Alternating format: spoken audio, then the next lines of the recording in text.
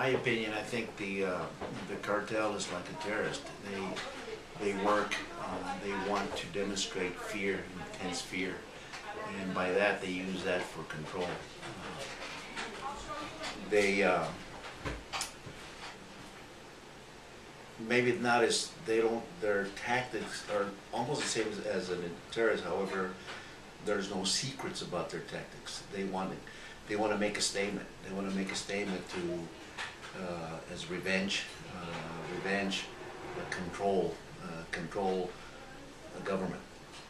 give you some background on the AK-47. Back in uh, the reason that it's a 47 is because it was designed by a Russian by the name of Mikhail Kalashnikov back in 1947, and he designed it for military applications, and so that's why it's called an AK-47.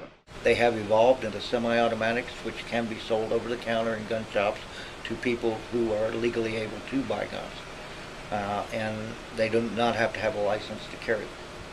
Um, and that's what we're seeing uh, a lot of now. The semi-automatic AK-47s being used in this, uh, if you want to call it, drug wars over in uh, in Mexico.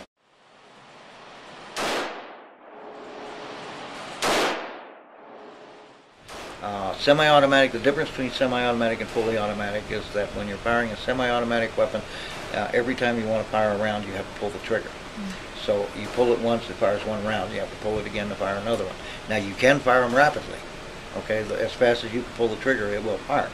Uh, a fully automatic weapon is when you depress the trigger, it will continuously fire automatically until you let go of the trigger. This is Bulgarian down here. This is a Chinese made. Uh, these weapons are uh, anywhere from semi-automatic to fully automatic, and the most, most probably and most common, uh, you will find the fully automatic weapons uh, in uh, in the military application. All right, very few semi-automatics are used in the military application, although a lot of weapons can be used either way. You can have a selector switch on it to where you can go to semi-automatic or fully automatic. Uh, Yes, you can fire up to uh, 400 rounds a minute, fully automatic with one of these weapons. However, uh, one weapon uh, would probably uh, not handle that many rounds uh, in that short a time. So therefore, if you go to a scene where more than 400 rounds have been fired in a minute or less, it's most probably and most obviously uh, multiple gunmen with multiple weapons similar to this firing at the same time.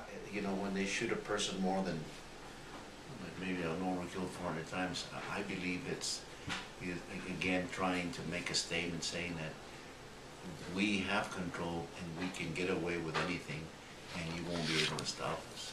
In other words, they're telling another person, if you do us wrong, this is what's gonna happen to you, or this is what will happen to you.